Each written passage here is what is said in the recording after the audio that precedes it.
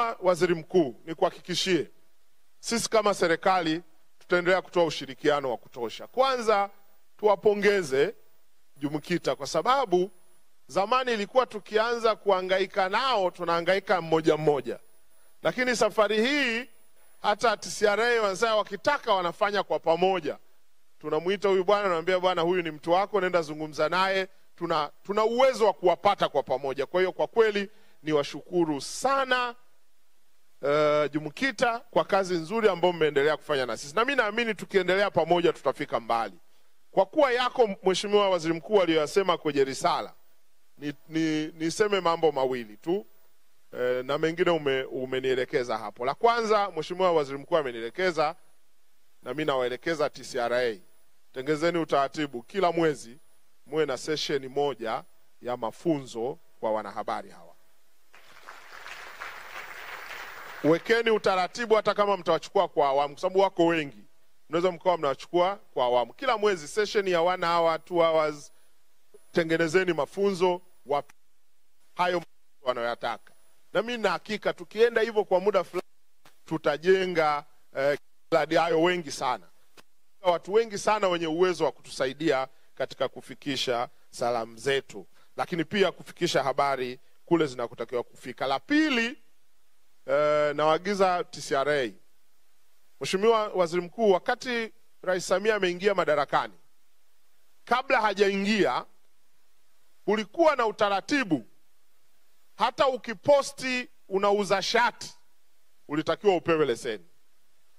Rais Samia alipoingia akasema tutoe leseni kwa wale wanaotengeneza nyuzi peke yake, wengine wote wakaachiwa huru.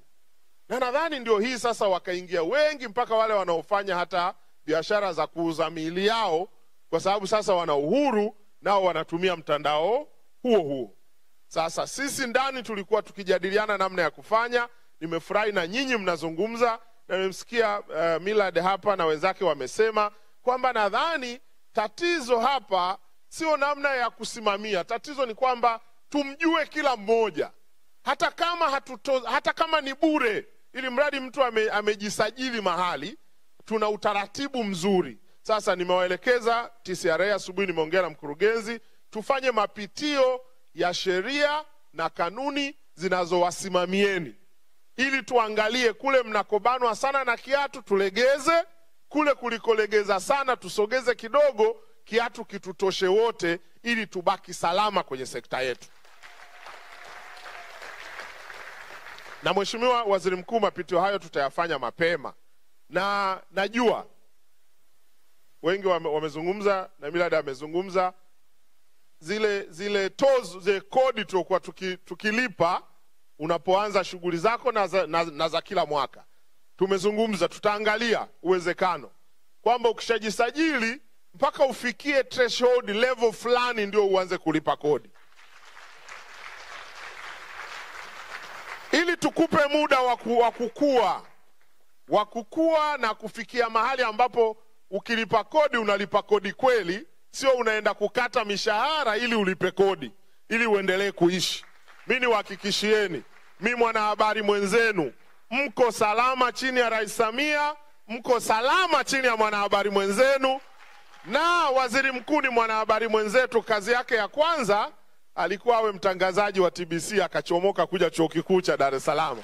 Kwa hiyo ni mwanahabari mwenzetu, niwahakikishieni mko salama. Mheshimiwa Waziri Mkuu, la mwisho, wakati tunaenda kufanya mapitio hayo ya sheria, kanuni na taratibu, nataka kuwaomba we, wana, wanahabari wenzangu, wakati tunafanya kazi zetu tuvae viatu vya wale tunaowapelekea habari zetu. This is very important.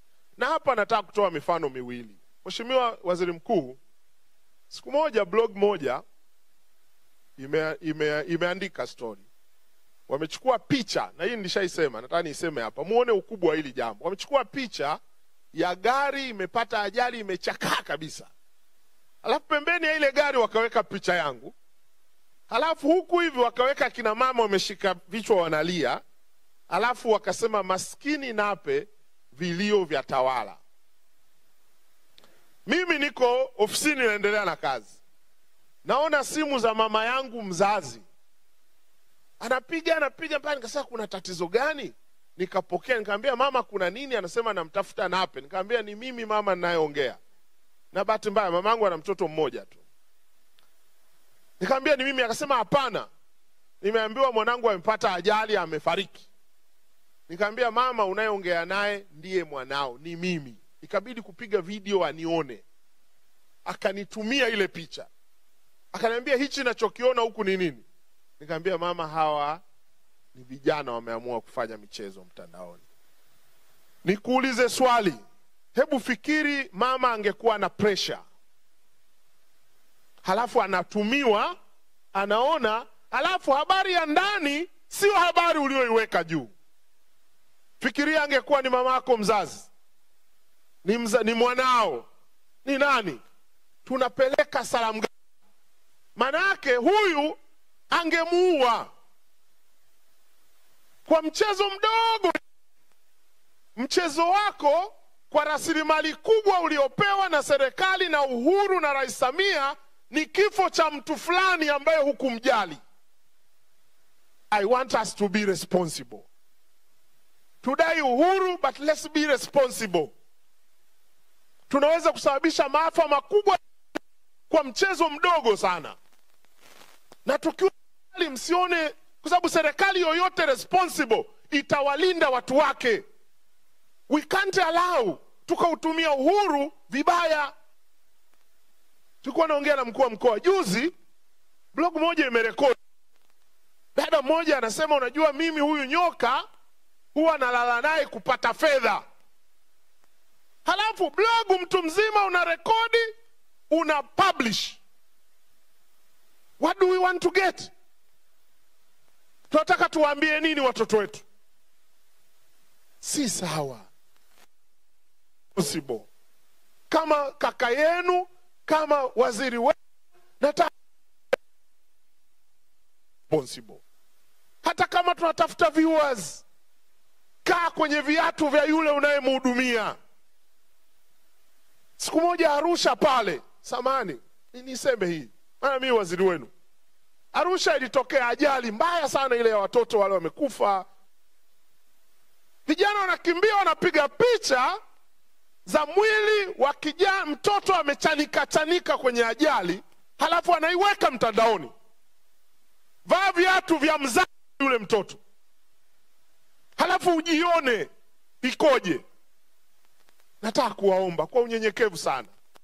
Tusi serikali yoyote wajibika vizuri itawalinda watu wake wasiharibie maisha yao kwa sababu ya uhuru uliopewa. Mshikamano na umoja na amani ya nchi yetu.